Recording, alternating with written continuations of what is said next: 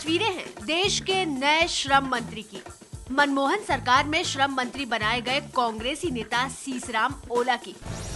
सिर पर नेहरू टोपी, आँखों पर काला चश्मा और रही सही कसर पूरी हो गई। सीसराम ओला के स्वागत के दौरान कंधे पर ओढ़ाया गया ये तीन रंगों वाला कांग्रेसी स्ट्रॉल यानी दुपट्टा। मंत्री जी इस मौके पर बाल श्रम की बात करते करते अपनी पन्ना की अंगूठी दिखाना नहीं भूले। छोटे बच्चों को ये चाय की दुकान पे फैक्ट्री में और ये जेवरात बनाते हैं ऐसी अंगूठी वगैरह, ये ये पन्ने वगैरह, इनकी घिसाई का काम लेते हैं। इनको भी हम देखेंगे कि उन बच्चों के लिए क्या किया जा रहा है। सीसरा मोला को इस अंदाज में देखकर कौन कह सकता है? कि ये कांग्रेस के सबसे बुज़ुर्ग नेताओं में से एक हैं और इनकी उम्र हो चुकी है छियासी साल। छियासी साल की उम्र में मनमोहन सिंह सरकार ने सीसराम ओला को सौंपा है देश का श्रम मंत्रालय। और ये तस्वीरें उसी मौके की हैं जब वो दिल्ली के श्रम मंत्रालय का कार्यभार संभालने पहुँचे, अपने यानी श्रम मंत्री के दफ्तर।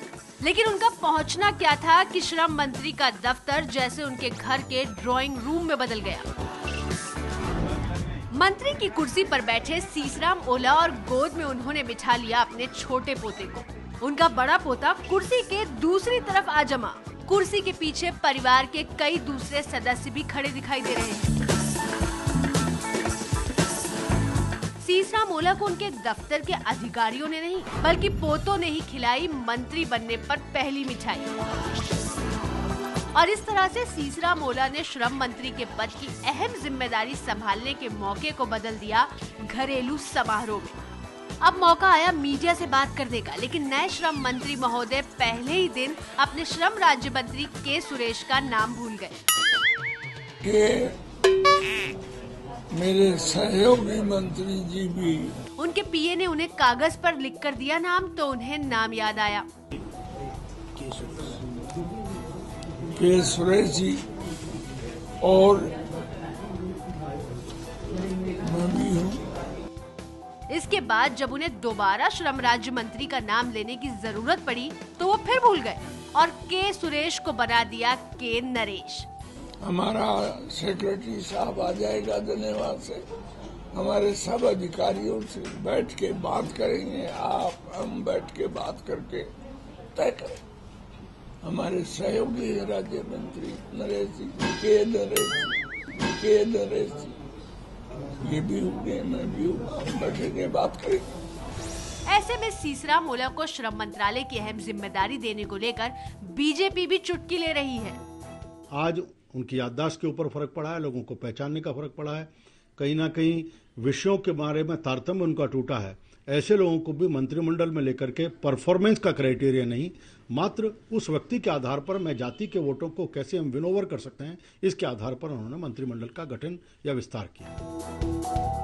सीसरा मोला ने श्रम मंत्रालय में जब पदभार संभाला तो श्रम मंत्रालय के सचिव डॉक्टर मृत्युंजय सारंगी मौजूद नहीं थे।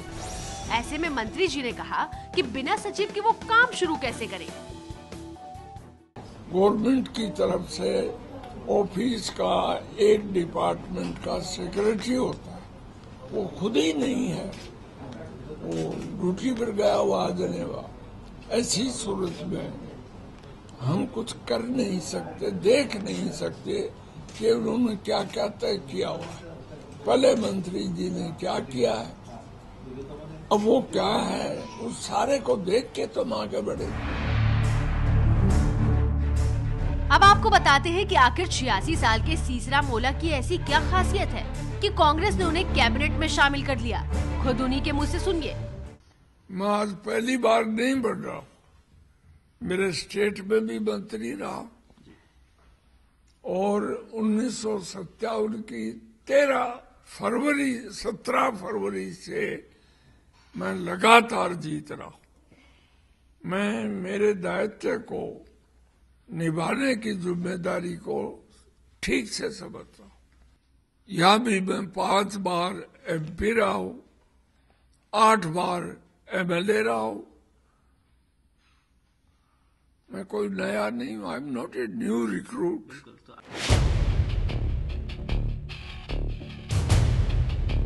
तीसरा मोला लोकसभा के डिप्टी लीडर भी हैं और राजस्थान के झुंझुनू इलाके में उनकी बैठ ऐसी है कि उन्नीस से अब तक कोई चुनाव नहीं हारे हैं।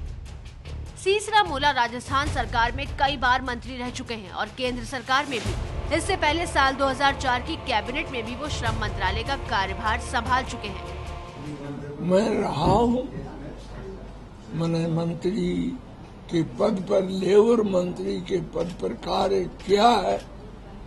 ये एक अच्छा बड़ा डिपार्टमेंट है। इसमें जो जो दायित्व है, उनके पूर्ति करेंगे। परफॉर्मेंस क्राइटेरिया होता तो शायद कांग्रेस ने जब साढ़े उनके लगभग चार साल का समय हुआ है, पहले उनको, उनके अनुभव के आधार पर उनको मंत्री बनाया जाता। चार साल तक वो आदमी कहता रहा कि मेरी कोई कांग्रेस में इज़्ज़त नहीं रही है। यहाँ के मुख्यमंत्री के ऊपर आरोप लगाए, कांग्रेस के केंद्रीय नेतृत्व पर उन्होंने आरोप लगाए। अब धमकी के आधार पर उनको मंत्रिमंडल में स्थान दिया, परफॉर्मेंस नहीं। इसलिए निश्चित रूप से इसका रिफ्लेक्शन कहीं ना कहीं उनके काम के ऊपर आने वाला है। ओला जी से की बार, उनके निश्चित रूप से किसी समय में उन्होंने बहुत काम किया है। लेकिन अब जिस उम्र के ढलाव पर वह हैं, वो कहीं ना कहीं उनके काम के ऊपर, शरीर के ऊपर परिलक्षित हो रहा है। माना जा रहा है कि कांग्रेस ने राजस्थान में होने वाले चुनाव को देखते हुए सीसरा मोला को कैबिनेट में शामिल किया है, ताकि राजस्थान के जाट मतदाताओं की नाराज़गी को कम किया जा सके।